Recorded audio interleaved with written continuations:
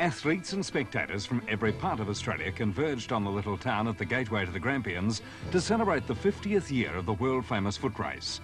Brass bands marching up and down Main Street, which was suitably decorated with flags, added to the carnival atmosphere of the big event. And according to reports of the day, the little township was fairly bursting with excitement. The venue for the Stawell Athletic Club's great meeting was, and still is, Central Park, Outside the main gates, on Golden Jubilee year, the Brunswick City Band performed concert pieces and demonstrated its marching ability to keep the crowds entertained prior to the start of the track and field events.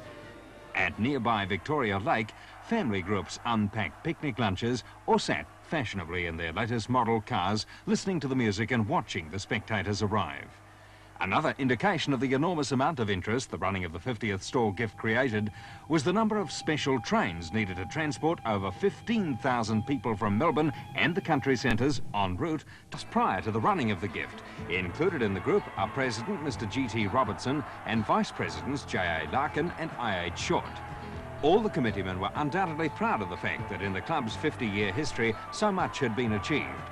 The Stawell gift had become Australia's greatest foot race and prize money had grown from a total of £100 for the entire meeting in 1878 to £1,300 and many valuable silver and gold trophies in the Jubilee year.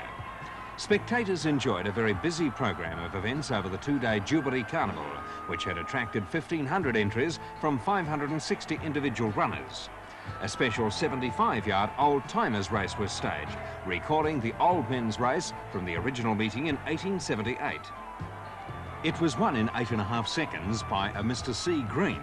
However, the 1878 first prize of a live pig was replaced by a purse of 12 pounds. Also on the program, the Federation Handicap over a distance of one mile, with a first prize of £65 and silver trophies to the value of five guineas donated by the club president, Mr G.T. Robertson.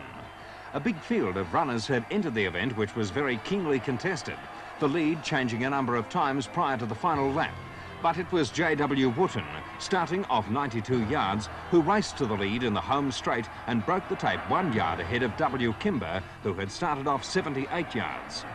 Time for the event was 4 minutes 7 seconds, and Wootton received his silver trophies from President Robertson and a place in the Golden Jubilee history of the 1927 Stawell gift.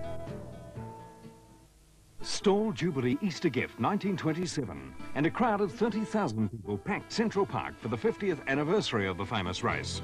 One of the proudest spectators at the meeting must have been Mr J.G. Taylor, seen here on the right, who was a founding member of the Stawell Athletic Club in 1878 and had seen the gift grow from a small town running event to the most highly respected foot race in Australia.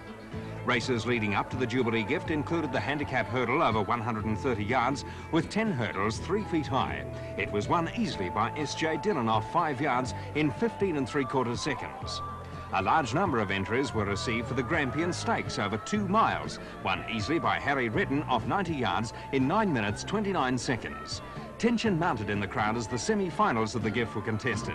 ABC Radio 3LO is ready to broadcast the historic occasion, and the five finalists who qualified were L. Stevens of South Yarra off seven and a half yards, TJ Miles of Bundaberg, Queensland off 10 yards, T.S. O'Connor of Yarram off 11 yards, T. Dunn of Kerang off 11 and a quarter yards, and A. Walk of Netherby off 11 and a half yards. The starter's gun fired and the five men sprang from their blocks. Although Walk showed out early, and O'Connor soon took command with Miles placed well. About 30 yards from the judging machine, Miles put in a thrilling dash and broke the tape a foot in front of Dunn, with Stevens inches away third. The time, 12 and 1 5th seconds.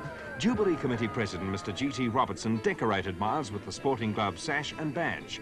The special gold medal was presented by Mr W. Earle and Mr H. Hill of Melbourne presented the silver cup he had donated. Miles also received £250 cash for his win. He was later filmed with the winner of the original 1878 gift, Mr W.J. Millard, then 72 years old.